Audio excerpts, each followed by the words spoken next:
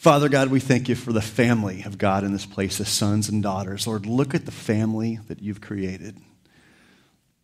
Lord, we didn't seek you out, you sought us out.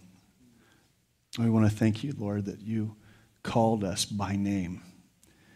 We welcome you, God, to come and father us in this place today. Speak to us, Lord. We desperate for your hand in our lives.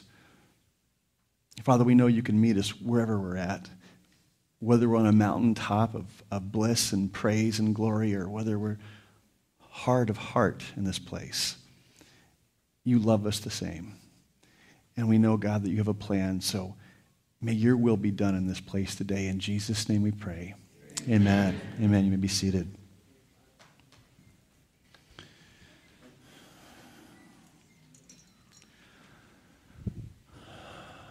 Jesus writing a letter to his church, the church of Sardis, chapter 3, verse 1. To the angel or messenger, more than likely the pastor of the church of Sardis, write These things says he who has the seven spirits of God and the seven stars. I know your works, and that you have a name, that you are alive but you are dead. Be watchful and strengthen the things which remain that are ready to die, for I have not found your works perfect before God. And that word perfect means acceptable. Verse 3 Remember, Jesus says, therefore, how you have received and heard, hold fast and repent. Therefore, if you will not watch, I will come upon you as a thief and you will not know what hour I will come upon you. You have a few names, even in Sardis, who have not defiled their garments, and they have walked with me in white, and they are worthy. He who overcomes shall, not, shall be clothed in white garments, and I will not blot his name out from the book of life. I will confess his name before my Father and before his angels. And he who has an ear, let him hear what the Spirit says to the churches. Let's stop there. Jesus writing to this church by the name of Sardis. This town that was the oldest town in existence, created a couple thousand years before Christ, set up that pretty much was a mountain of rock that they lived on. This name Sardis, it means remnant. A remnant that Jesus says looks alive, but it's dead. He said something interesting. He says, You have a name, a name that you're alive. Everyone else thinks you are that. Well, what's happening now, church? The children's ministry is Disneyland. The worship team is Hillsong United, man. There's not enough parking in the place. It's incredible what God is doing. Look what God is doing. And, and then God says, I'm not really there. And what you think is the anointing is humanism, it's dead. Wow. What a letter to get from Jesus. There in verse 1, amazing. He says, I know your works, that you have a name. This, this particular word in the Greek, onoma, it's where we get the word dynama, denomination. It's like Jesus is looking at the church and he's saying, when people ask you what your religion is, you say you're a Baptist. You say you're Pentecostal, you say you're Lutheran, you say you're Methodist, you say you're Presbyterian, you say you're Nazarene, you say you're non denominational, you're above it all. Don't you? You, you, and I know you take great pride. And, and have I done that? You've done, we've all done that. And we talk more about our church or our pastor than we talk about the only name that really matters the name above all names, Jesus, right? he says, You're dead. And this is really telling the tale of what's going on. How many of you, just out of curiosity in this place were raised Baptist? Okay. Hands down, Presbyterian? Not many frozen chosen. Oh, just a couple. Just a couple. I, was too, in part. No insult there. Yeah. Pentecostals.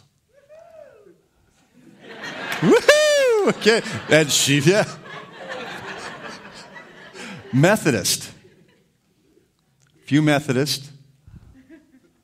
Man, there's not a lot here. Uh, non denominational.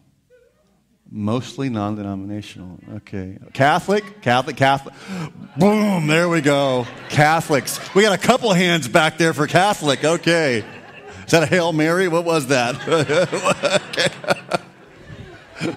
so, so, see, this is fun. You ready? Okay, on the count of three, say your denomination you were raised in. One, two, three. Again, one, two, three.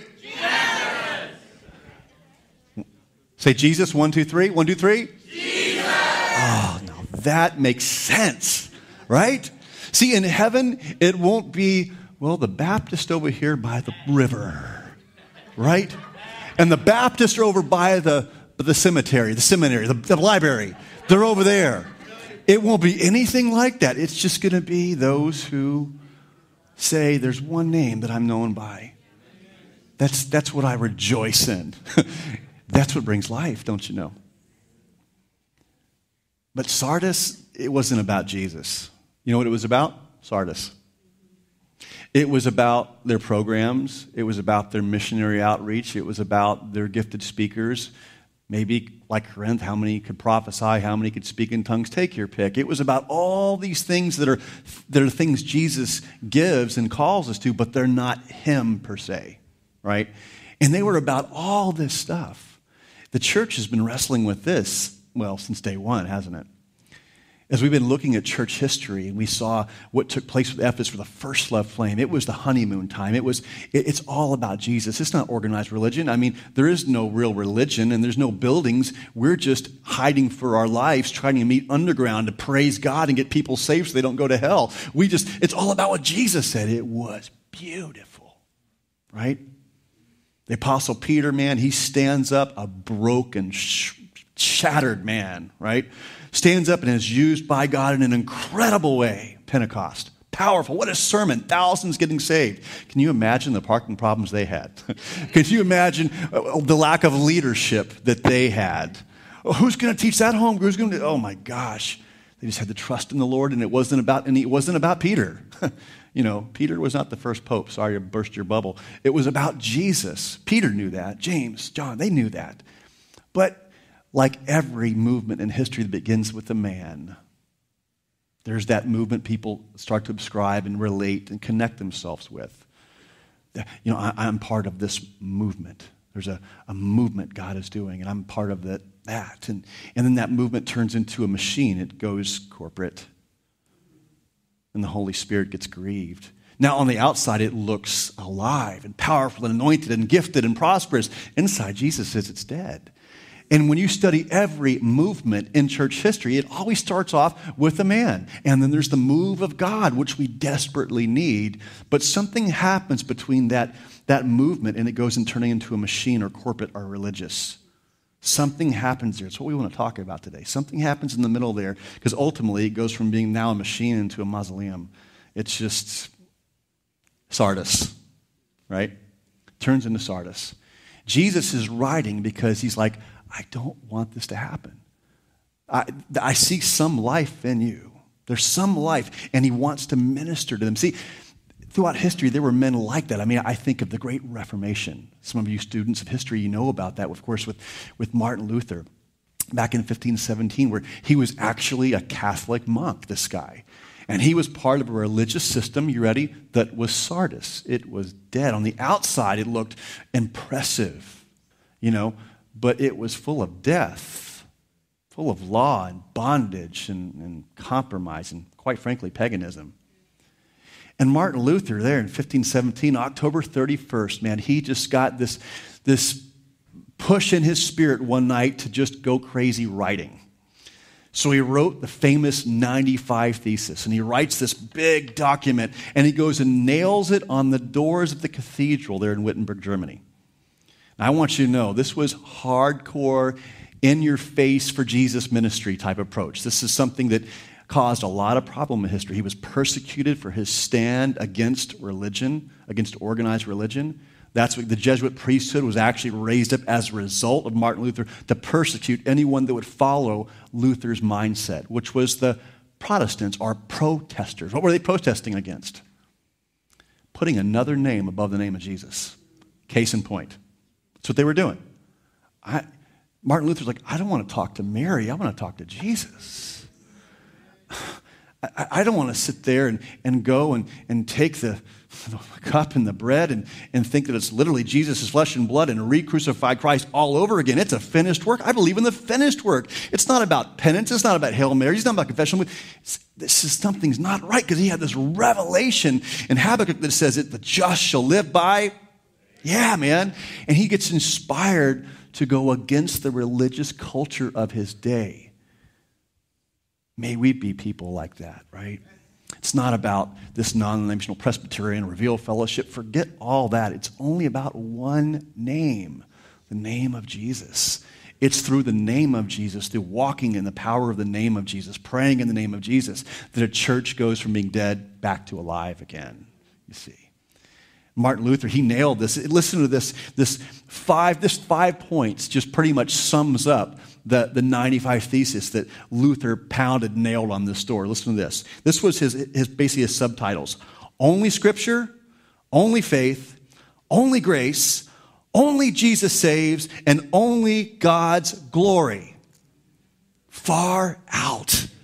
Now, see, now we might hear that and go, duh. Yeah, but these five points, we don't have these down today.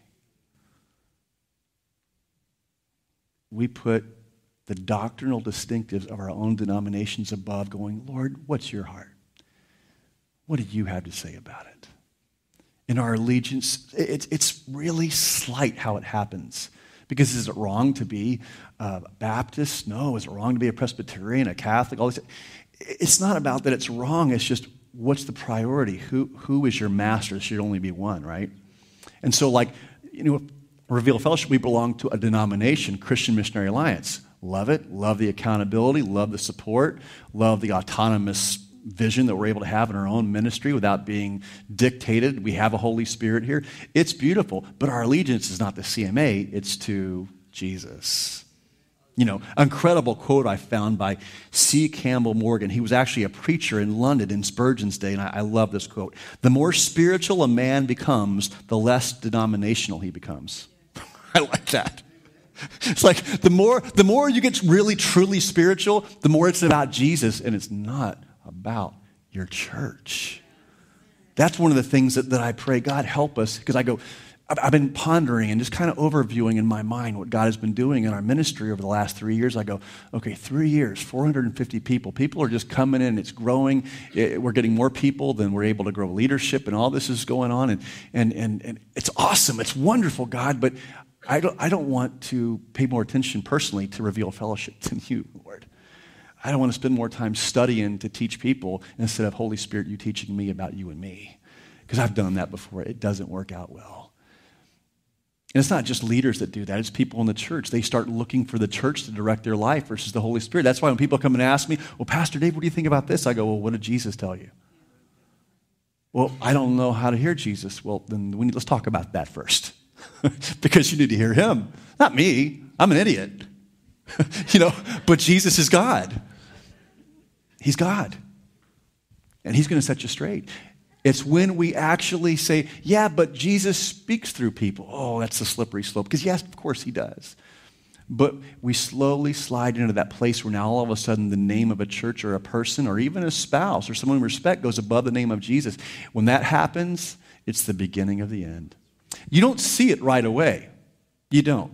It's kind of like, you know, things still look good for a while. I'm sure when the Sardis read their letter and they're looking at, you know, how Finances are in the black. Things are going great. There seems to be a unity in the church. Everyone's excited. They're always there. People get there early. They leave late. It's wonderful. And Jesus says it's dead. I'd be scratching my head, right? Because Jesus sees differently than we do. Our view is very limited of what we think is alive and what's really alive. You know, I was reading recently about the North Star, Star Polaris, where this, this star that you look up in the sky that, that just never changes, right? It's, it's a star that, that men have used for years as a compass. Man, by the, by the North Star, we know everything, we can tell by the North Star. This incredible star that's 434 light years away. That's a long distance. To get there, you'd have to travel 186,000 miles per second for 434 years before you could get there. And we just get to look up and see it, right? But this is what's incredible. If that star all of a sudden, I don't know, got religious and started thinking there's more than one sun, it would die. Now, we wouldn't know it because it would take 434 years for us to realize it was black, right? Kind of like the Reformation. There was a light that began with Martin Luther, and it was incredible. And there are people today that are still calling themselves Lutherans instead of Christians, and they don't realize it's dead. Now, there can be people in a Lutheran church. There are some names, even in Sardis, Jesus, even in that dead refrigerator you call a church, there are some that really love me, right? So, can you be a Catholic and love Jesus? Sure. Can you be a Lutheran and love Jesus? Sure. But my question is why be in a dead church? Why? I've spoken in dead churches before. Recently, I spoke one at a dead church, and someone goes, Pastor, you know, that message, it just stirred me. I haven't heard preaching like that. Oh my gosh, I just want to get close to God. And, and, and you know what I said to the person? I said, Is there a church in your community that's alive? Because go there. Oh, well, Pastor, I, have just been here forever. Yeah, I can tell. Well, you don't understand because I, I, I, I, I oversee the nursery, and, and if I leave, then there'll be no one to watch the kids, and I just feel like, you know, guilty. I got to stay. Who are you following? What is it about? Is it, is it about your denomination? Well, I've always been a. What is that? It's not about Jesus. See, Jesus is writing to this church, guys, because he's wanting to give them something. You ready? He's wanting to give them this wonderful gift called grace. This stuff that you can't earn. Jesus came to bring grace. John chapter 1, it says, And of his fullness we have received and grace for grace. For the law was given through Moses, but grace and truth came through Jesus Christ. Now you might go, well, Dave, what does that have to do with, with the church of Sardis? And what does that have to do with not being a dead church? Well, see, we're talking about a church that had lost sight of the name of Jesus. You know that name that Jesus said in John 14, we could ask anything in his name and we would receive it? That's a good promise, isn't it? I can ask anything in your name, Jesus? That's incredible. Whatever you ask in my name, that I will do, that the Father may be glorified in the Son. And you can ask anything in my name, I will do it, John 14, 14. That's a promise. But do we understand what it means? I would suggest we don't we don't understand that asking something in the name of Jesus has everything to do with grace. It has nothing to do with, I've earned it, I've achieved, I've arrived, I've climbed the corporate Christian ladder, and somehow I'm worthy of receiving that thing I'm asking for. Now, it's not that we say that out loud, but we think it. That's why we, when we pray, we doubt. The root of our doubt is we're not praying in Jesus' name, in grace. He came in what? Grace and truth. If we're going to pray in Jesus' name, we're praying swimming in grace. We're not doing that. We need help. We need help. Jesus writes this letter because he says, Hey, dead church that's living under the law, that's not swimming in grace. You're asking for things, but you're asking them as somehow you think you might have earned it or not, or doubting that you're going to receive it because you haven't earned it but I'm here to help, says Jesus. And that's why when he starts off this letter, I, I, love the first thing he says about him, referencing back to the vision of the glorified Christ in chapter one, as he does with every church, something significant. Kind of like, here's the symptom, here's the remedy, right?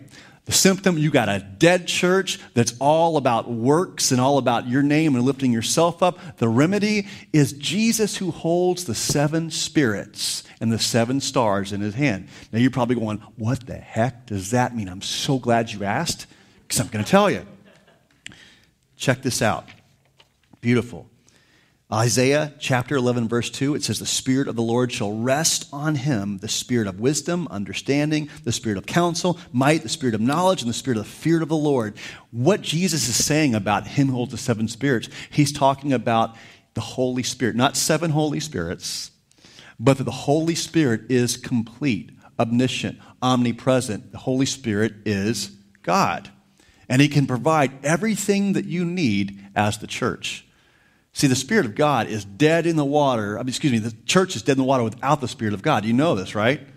We've got lots of churches, lots of hype and talent, but no Holy Spirit and it's a dead it looks it looks alive jesus says no it's dead you need an anointing so he says hey i'm the one that holds the seven stars in his hands he's referring to the pastors the leadership of the church he's like i'm holding the leadership in my hand and i'm also holding an anointing that i want to pour out you really need it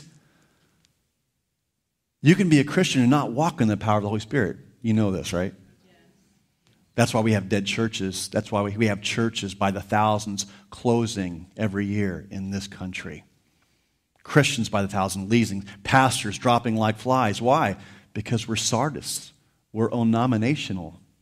It's not about Jesus. And the Holy Spirit gets grieved. See, the Holy Spirit came to lift up not the church, to lift up the name of Jesus. If we're lifting up the church, the Holy Spirit is grieved and there's no power, there's no anointing. But if we're lifting up the name of Jesus, the Holy Spirit says, That's why I'm here. Sardis was not doing that.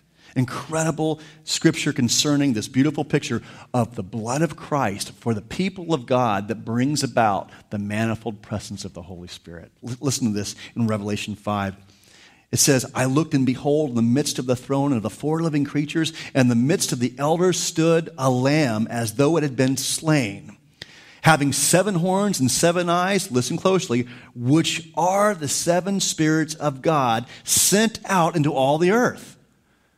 This beautiful vision that John has given, it says, because of the blood that was shed by Jesus, because remember when Jesus says, I must go so I can send the comforter, right? In other words, because of what the Lamb did, now I'm able to send out the sevenfold manifest, the fullness of the Holy Spirit to all the earth.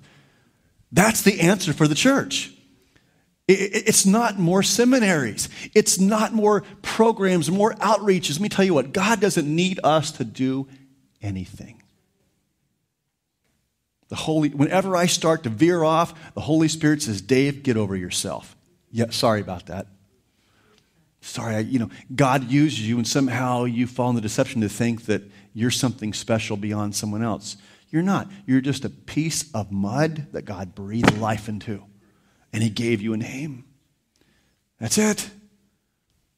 That to make you feel good about you, right? See, to pray in Jesus' name is, is to pray, well, wow, grace what's going to happen as a result of this prayer has nothing to do at all with who I am or anything that I've done or not done. Grace. Praying in Jesus' name is praying like Jesus prayed. Not my will, Father, but yours be done.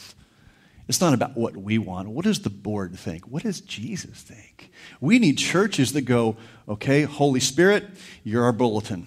Holy Spirit, you're a worship leader. Holy Spirit, you're a pastor. Holy Spirit, you're our board of directors. Holy Spirit, you, we need the Holy Spirit to lead and guide in everything that goes on. It's not about what we think. So many churches are surrounding themselves with board of directors who are accomplished entrepreneurs and businessmen, smart guys in a worldly sense, and leadership who are charismatic and articulate, and they have a, a man, a resume that's like, wow, but that doesn't mean the Holy Spirit's anointing what's going on, right? What, what does the Holy Spirit anoint? Someone who loves grace someone who loves the truth, not a truth, the truth, right? That was Martin Luther's thing. He's looking at the Catholic, Roman Catholic Church. You're like, you have truths, a truth, a truth, but I'm all about the truth. The Word of God and only the Word of God. That's it. The Holy Spirit anoints that. That's powerful. It's not your feeling, it's not your opinion, it's not your background or culture. It's all this. Jesus said in John 14, I love this the Helper, the Holy Spirit, whom the Father will send in my name, he will teach you all things and bring to your remembrance all things I have said to you. John 16, 13, the Spirit of truth has come and he, not it, it's not a 220 volt in your wall or the force from Star Wars. He's a person, right? He will guide you into all truth. For he will not speak on his own authority, but whatever he hears, he will speak. And he will tell you things to come. I like that one. That's a whole other Bible study.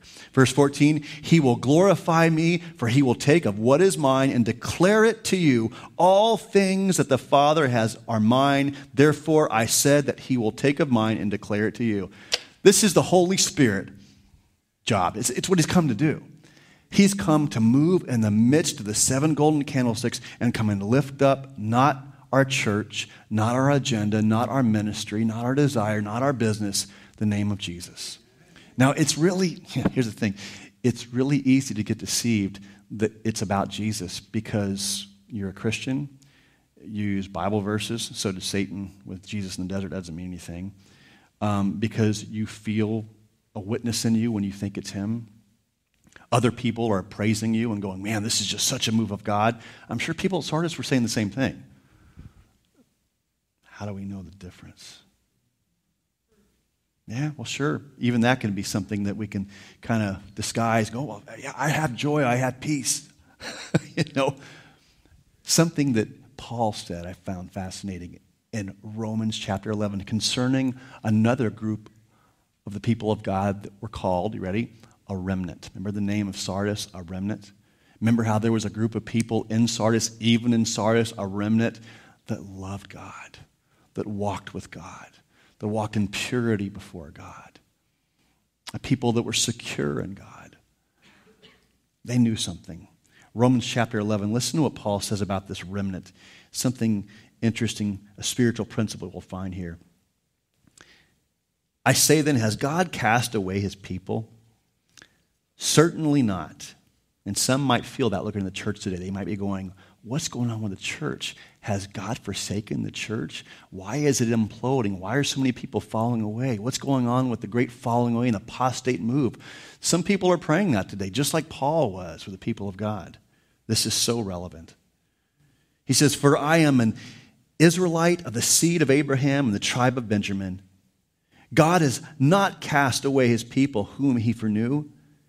Or do you not know what the scripture says of Elijah, how he pleads with God against Israel, saying, Lord, they have killed your prophets and torn down your altars, and I alone am left, and they seek my life.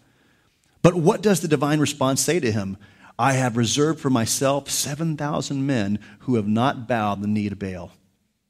Even so, then, at this present time, there is a remnant according to the election, and say it with me, of grace. And if it by grace, then it is no longer works. Otherwise, grace is no longer grace. But if it is of works, it is no longer grace. Otherwise, work is no longer work. Listen to that last verse in the New Living Translation. And since it is through God's kindness then it is not by their good works. For in that case, God's grace would not be what it really is free and undeserved. See, the reason that people were falling away and drifting away is because they kept trying to get close to God by putting pride in their organization. I'm a Jew, I'm of the tribe of Benjamin, I'm part of the Sanhedrin, I'm this, I'm that. It won't last. But there's a group of people, there's a remnant that are true to the grace of God. They understand that everything that comes from God is a gift. Jesus came at a time where everyone was frustrated with the law and trying to get close with God by sacrifices, by obedience, sins of commission and omission, all these things that were going on, and they're just throwing their hands up in the air. How can I get close to God? Jesus came to say, It's only in my name you can be close to the Father. It's only through a gift that you could never possibly earn.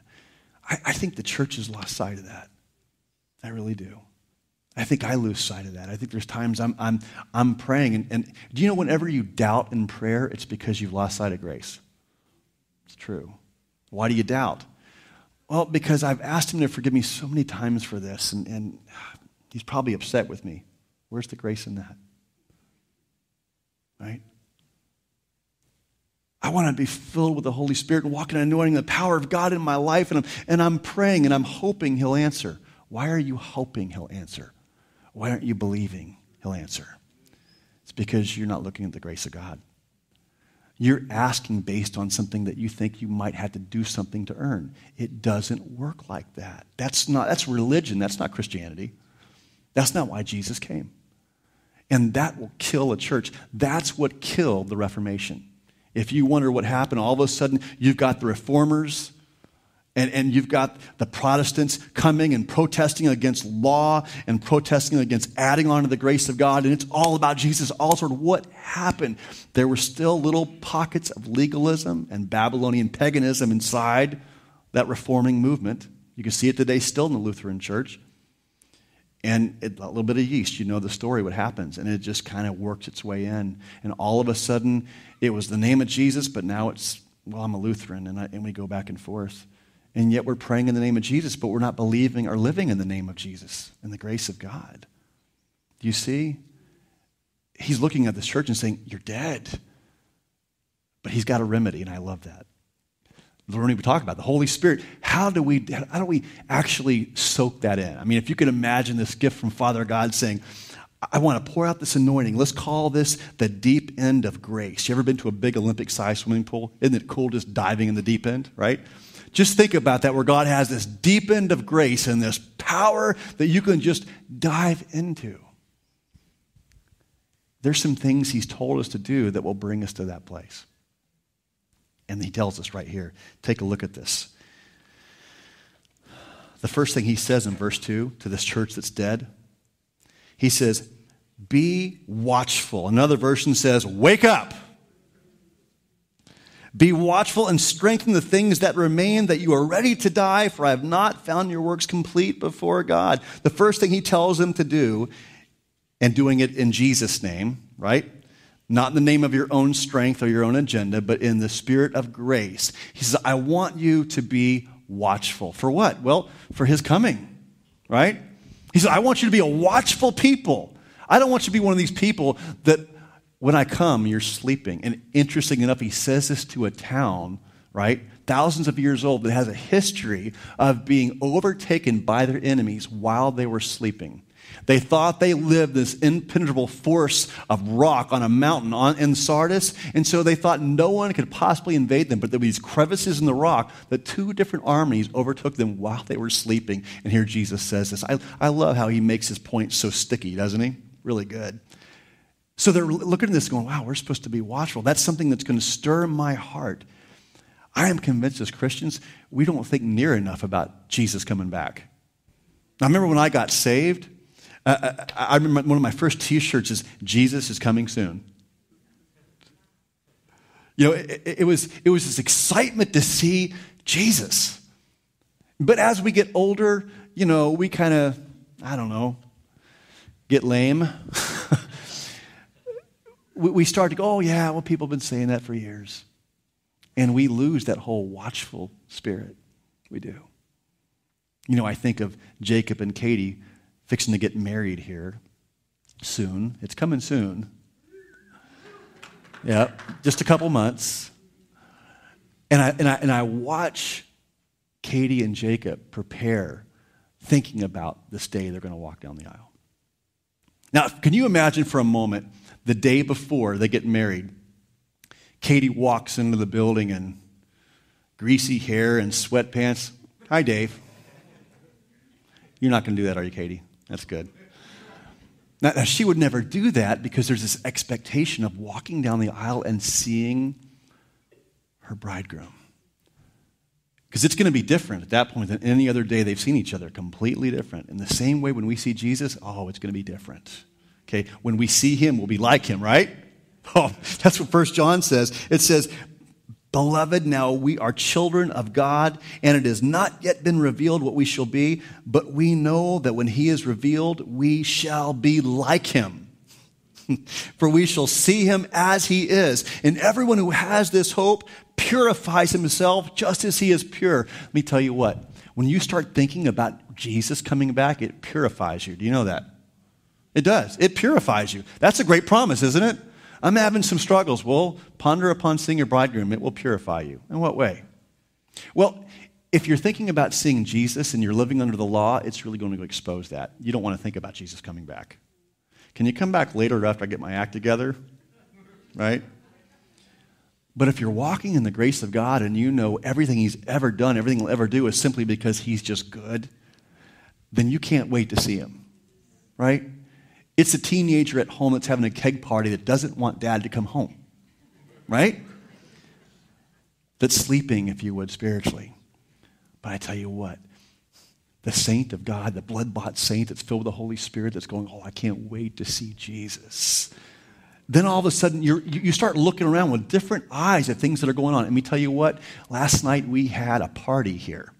We had a party in prophecy where we were diving into the Word of God. You can go online and check this sermon out. I would encourage you to. It will rattle your cage, I promise. It'll rattle your cage in the sense of going, Jesus really could be back any moment. I mean, I know I've always said that and I believe it, kind of. But the things that are going on are stirring my faith incredibly.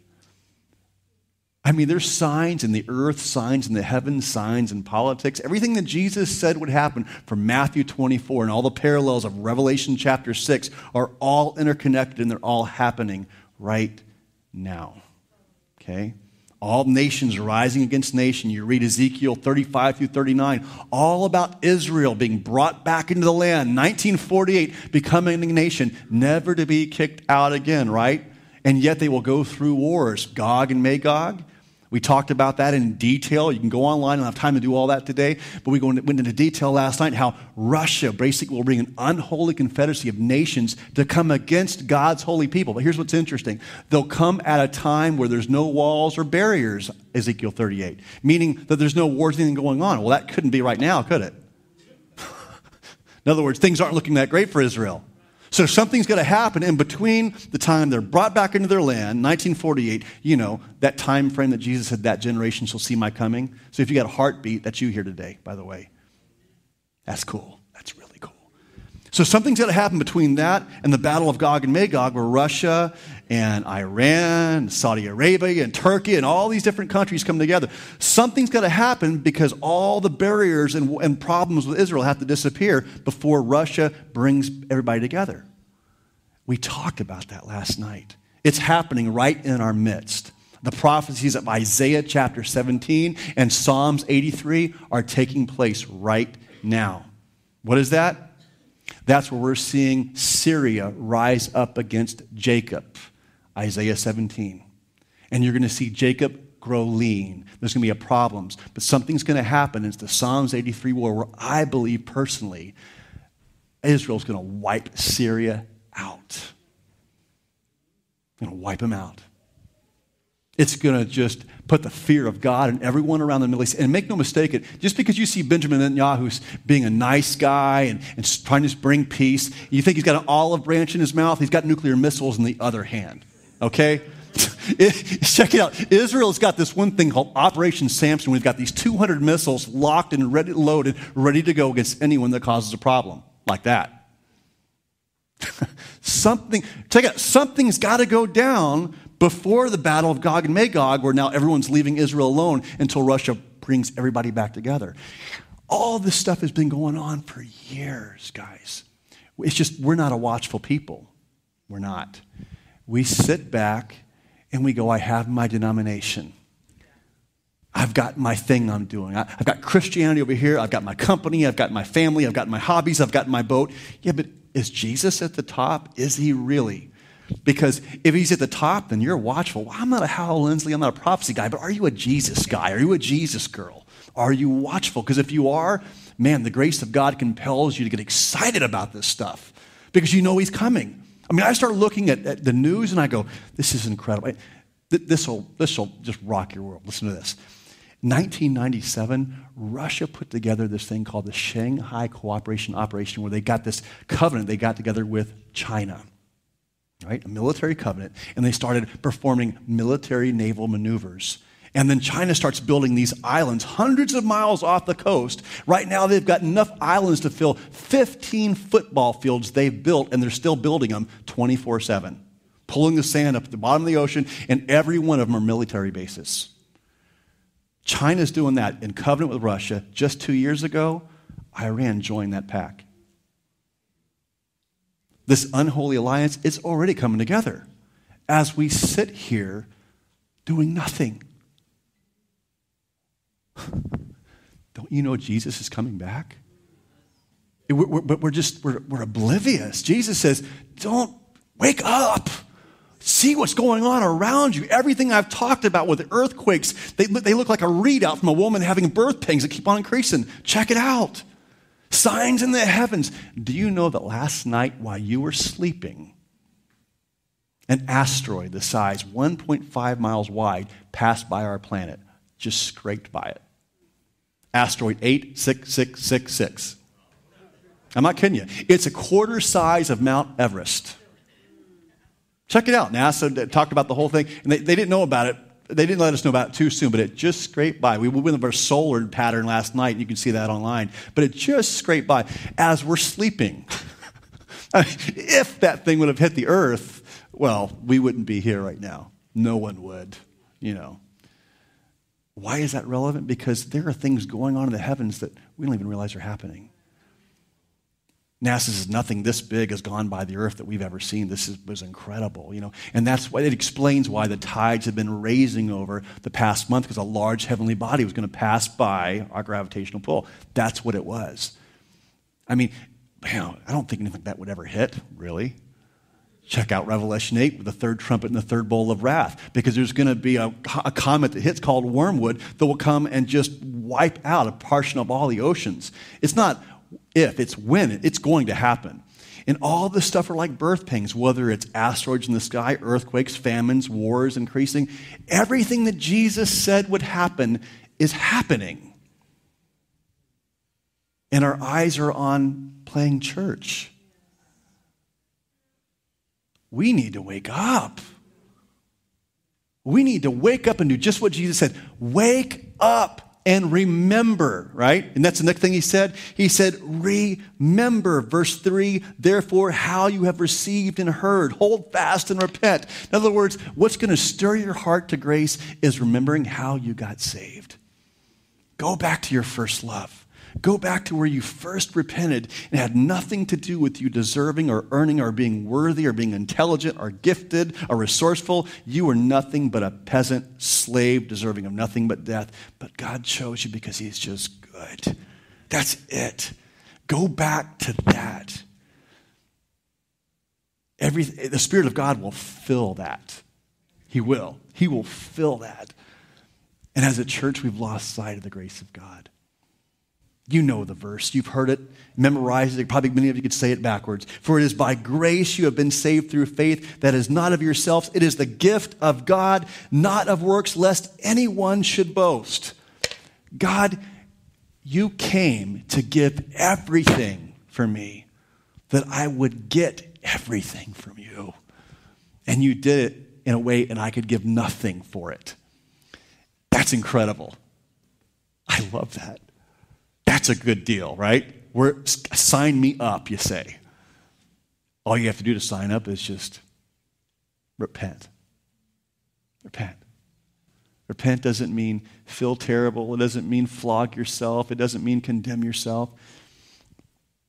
The best theological term I could use to, dis- to decipher this, this word repent would be this. You ready? Stop it.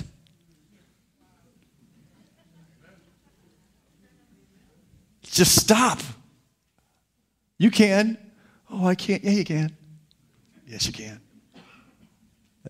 Oh, I can't. I'm struggling. No, it's an excuse. You can. Stop. Stop. Stop praying in Jesus' name, but you're really not praying in Jesus' name. You're still praying under the law. You're still praying with a religious mindset.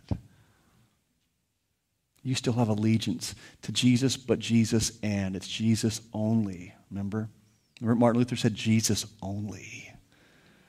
It's all about Him. And someone who knows that, someone that really has Jesus as the centerpiece of their soul, and it's all about Him, Jesus calls him an overcomer. An overcomer. And He has promises for those who are overcomer. Are you an overcomer? Okay, stand to your feet and say, I'm an overcomer. Say it out loud. Okay, you can sit down. Now I believe you. Amen. Amen. I'm an overcomer.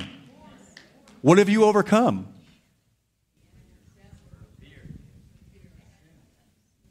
Well, you said you're an overcomer. What have you overcome? Sin, death, the things that separate you from the God who created you to know you and love you. You've overcome. You've, it's behind you. The only way that happens is grace through faith. That's it. It's not living a holier life. You can't be holy. You can't. But Jesus can be holy through you. It's a gift, and it's free. Oh, he promises here. This is so beautiful. We'll close this out here talking about. Remember those few, that remnant in Sardis? The few in the dead church that were alive? Praise God for a few live people around, huh? You have a few names even in Sardis who have not defiled their garments, and they shall walk with me in white, for they are worthy. He who overcomes shall be clothed in white garments, and I will not blot his name out of the book of life, but I will confess his name before my Father and before his angels. Stop there. Take a quick note of this. For those who overcome, they will have the promises of number one, his presence. He says, For those who overcome, I will walk with those in white. Check that out. See, that's one of the things you know, and it's by grace, right? We don't earn it. God says those who overcome the tendency to think they can build their own Tower of Babel and earn, do things on themselves, they're going to overcome and they're going to walk in intimacy with me.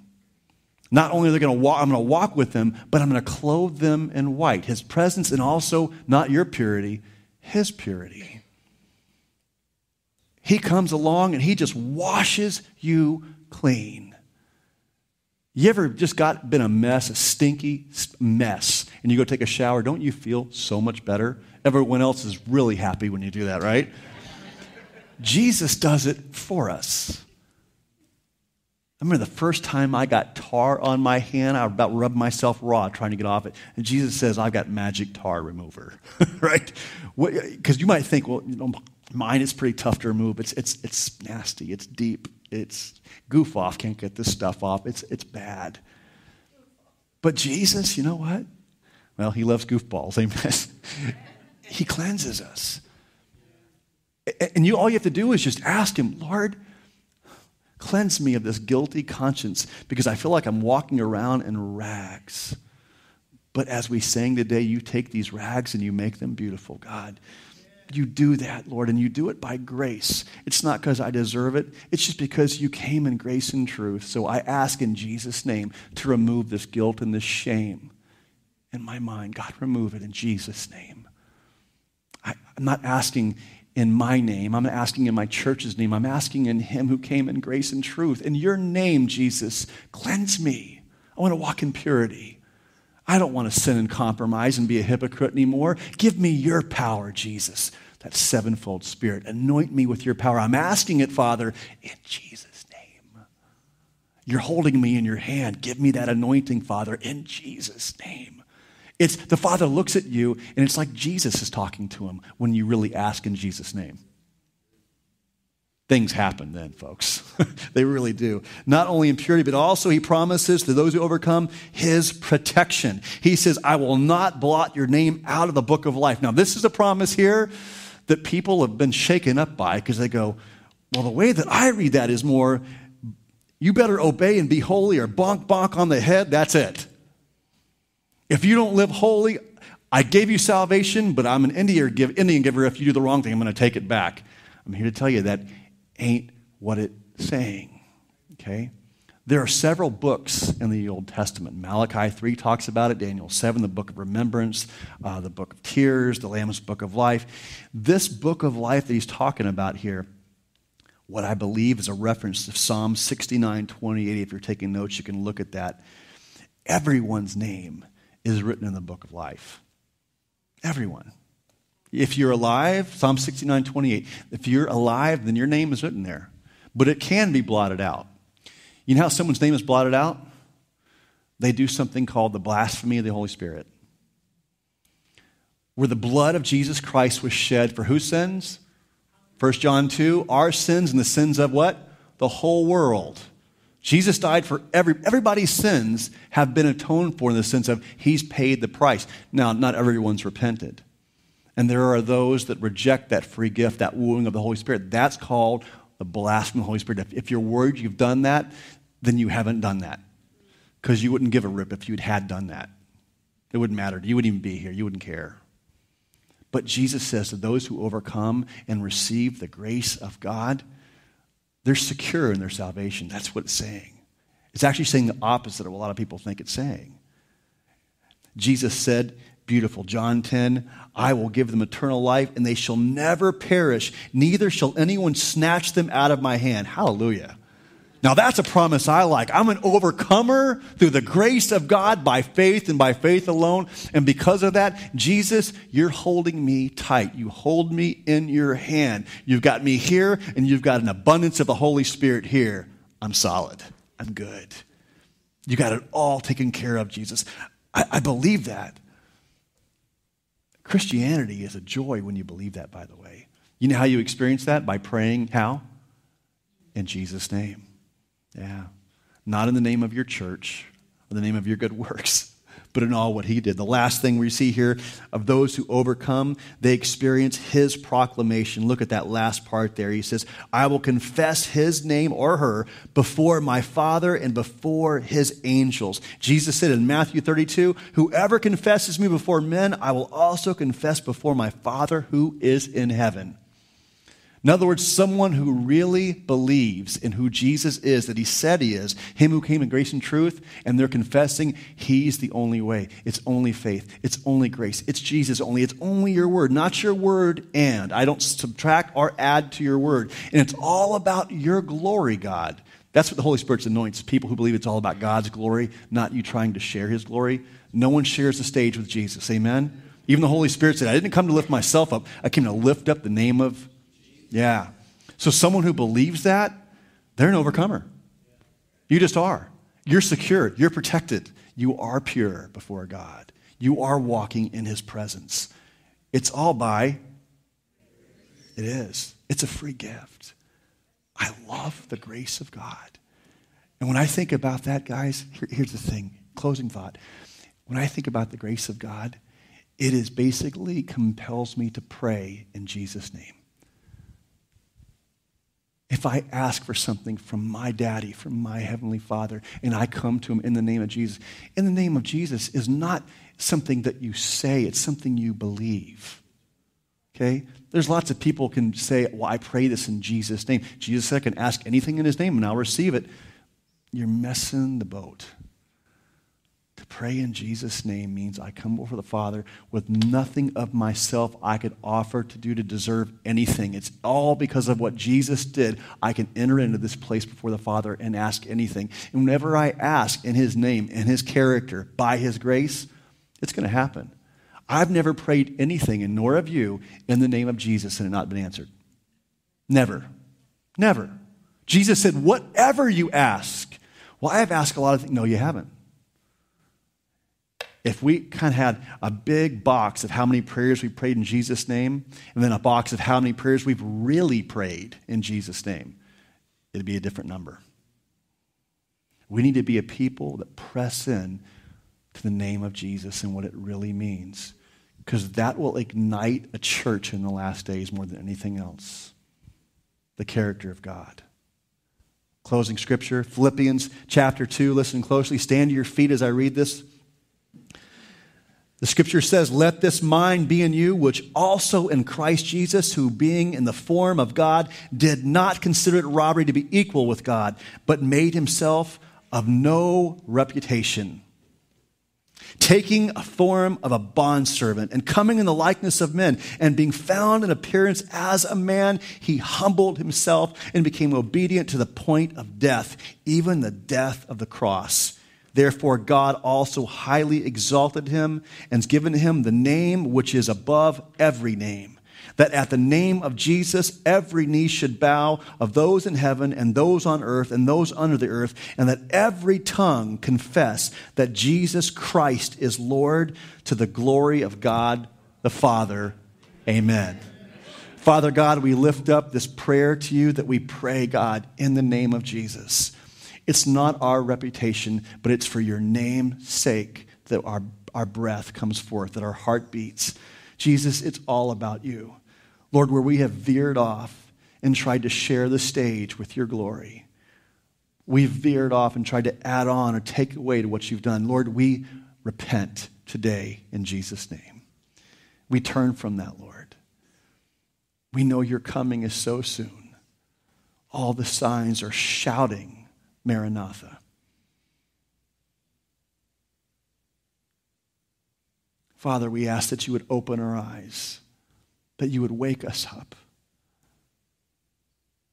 We desire to be a people, Lord, that long for you and a bride that prepares herself, dresses herself in wedding white by grace. Where there's condemnation, where there's compromise in this room, Lord, we repent. And we ask for a filling of your Holy Spirit in these last days. Where we've turned to the right or the left, Lord, we choose to walk straight after you. Empower us, Lord. Allow us to walk as Jesus walked. We ask this, Father God, for your glory and for your glory alone. And it's in Jesus' name we pray. And every saint shouted. Amen. Amen. Family, God bless you. Have a great week with Jesus.